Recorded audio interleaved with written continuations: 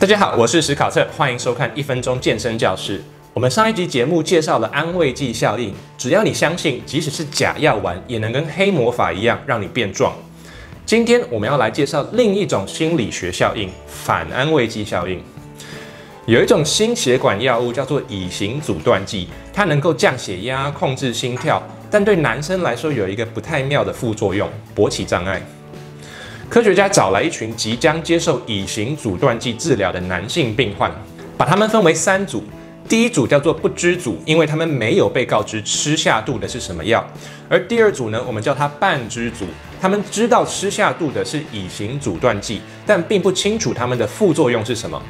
最后一组呢，叫做知道组哦，医生很用心的向他们介绍，诶，这是什么药？吃了之后会有哪些副作用？头晕啊、疲倦啊、气喘啊，当然也包括了勃起障碍。三个月之后，他们回诊时啊，医生就笑嘻嘻的说，诶，你最近这个性行为还顺利吗？结果不知组呢有三点一 percent 抱怨这个勃起障碍，半知组呢则有十六 percent，知道组呢则有三十一 percent。简单来说，吃的药一样，心理预期不一样，竟然可以让副作用增加十倍，这就是反安慰剂效应哦。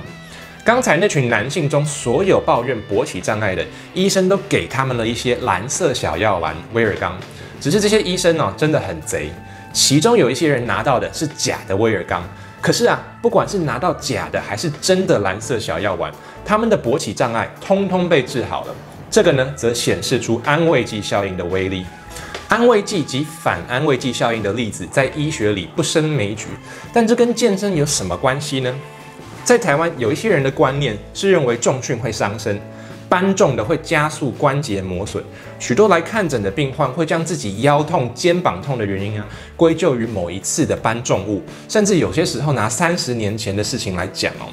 在科学上，我们已经明确知道重量训练是安全的运动，常做重训的人反而不容易受伤，甚至老年人也适合重训。这么样好的运动方式，为何在推广上还是有困难？我认为跟反安慰剂效应至少有部分的关系。因为先入为主的相信重训伤身，所以只要练完后全身酸痛，做不相干的活动，闪到腰、扭伤膝盖，或者是最微小的一点点酸痛啊，都会把它当成是重训的副作用，自己吓自己，也就不敢练了。英文有一句话叫做 self-fulfilling prophecy，中文翻起来叫自我实现的预言呐。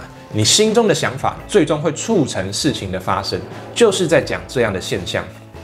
在医疗或教练间呢。反安慰剂效应也一样的普遍，跟病患说啊，你这边长骨刺了，你这辈子都不能再做剧烈运动了，或者是哎，你蹲下去的时候膝盖会夹，再这样下去，五十岁就要换人工关节喽。这些说法都是强效的反安慰剂，对病患或客户是好是坏还很难说。我当然不是说所有的病患都能剧烈运动，或是教练不该矫正重训的姿势，但是换个说法就能避免反安慰剂效应。例如医生说啊，你的 X 光虽然有一些退化的痕迹，但我相信适度的运动对你来说还是很好的。以下是一些你可以做的活动，或是教练说啊，诶，我注意到你蹲下去的时候，膝盖似乎会不自觉的向内倒，让我们来想个办法，让你蹲得更漂亮。这些都是比较好的沟通方式。你的生活中也有反安慰剂的存在吗？你有没有不小心害人家不举呢？别低估了语言可以对别人造成的影响哦。